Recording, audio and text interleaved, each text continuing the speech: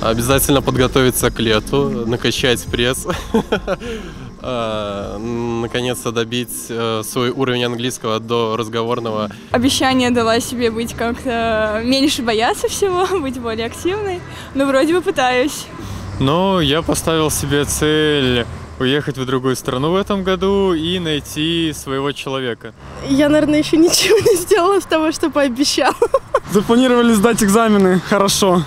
Ну и заняться спортом, конечно. Уже нормально, к лету вот качаться. Ну, зарядку делать, да, но э, две недели только как делаю, не месяц. Решил подарить себе мотоцикл, подарил.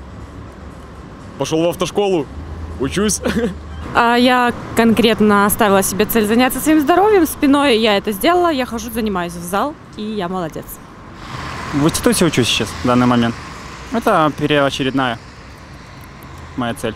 Собираюсь найти хорошую работу, собираюсь, так скажем, исправиться в плане отношения к жизни, э, так скажем, стать немножко проще. Ну, я планирую попробовать себя в новой области. а, Как это, и зайти в медицину. Посмотрим, как это получится.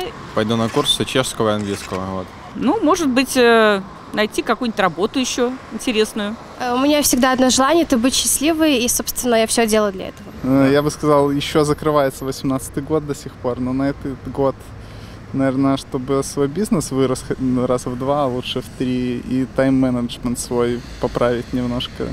Вообще, то, что я запланировала пока на данный день, все исполнилось. Это касается работы, пока только работы. А дальше иду в отпуск и занимаюсь своим здоровьем и своим ребенком. Для меня Новый год начинается, наверное, с 1 сентября, потому что он более рабочий, когда начинается рабочее время и лето заканчивается. Поэтому я скажу честно, я уже потихонечку иду к этому всему. План у меня есть, и я его придерживаюсь. Реализация... Ну, с понедельника, думаю, начну.